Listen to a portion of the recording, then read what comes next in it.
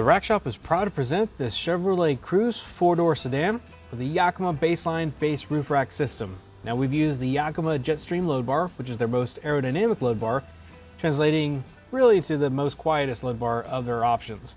Uh, you can also choose from their core bar system as well. Also part of this uh, roof rack system is the baseline towers and the vehicle specific fitting clip sets. Uh, BaseClip 137 in the front, BaseClip 126 in the rear. So total weight carrying capacity distributed over the two bars is 165 pounds evenly distributed. Uh, crossbar spacing uh, for this particular vehicle is going to be 30 inches uh, center to center.